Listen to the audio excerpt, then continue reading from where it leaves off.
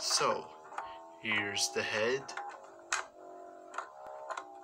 an oval for the body, lines for the arms and the legs, two eyes, and a little triangle for the nose.